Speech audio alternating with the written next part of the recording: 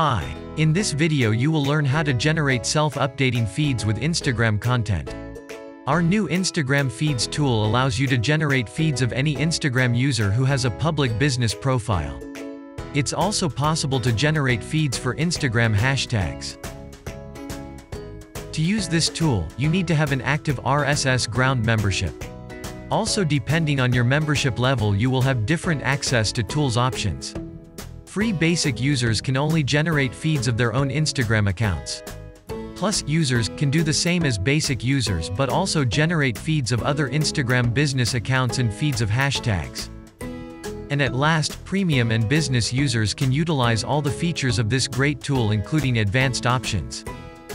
Also before you start using this tool, please make sure you have a Facebook account, an Instagram account, and that your Instagram account is connected to any of your Facebook pages. Please, see our support materials and instructions on how to set everything up. Let's see how this works. Go to my account. Click on Add New Feeds dropdown. Then, Generate Private Feeds option and select Instagram. Next step is to authenticate your Facebook account. Make sure you grant all the requested permissions to our app.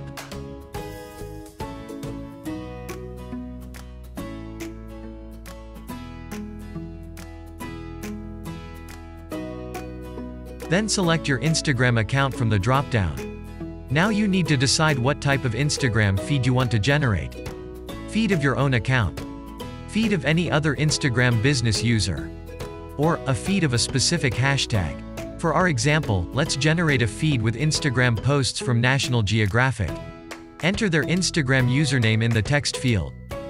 If you are premium or business user, you can take advantage of advanced settings to filter the content.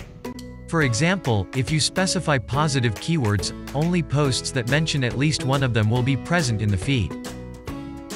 Okay. Now we are ready to generate our feed. Just press Generate. You can choose what you can do next with your feed. Simply save it in your feeds box for future use. Start sharing it via a posting campaign. Create a self-updating content widget for your website or send it to your feed's reader to follow latest updates from it. Whatever your next step is, your feed will be automatically saved in your feeds box for future reference. And here is the example of how your Instagram feed will look like. This is the title with the link to the original Instagram post.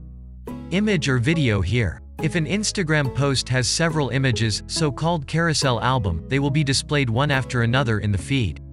And here is your caption. Note, only feeds of your personal Instagram accounts can display comments, other feeds will only show captions. Please note that Instagram feeds are private feeds and are subject to limitations depending on your membership level. Should you have any questions, please refer to our user guide anytime you need it.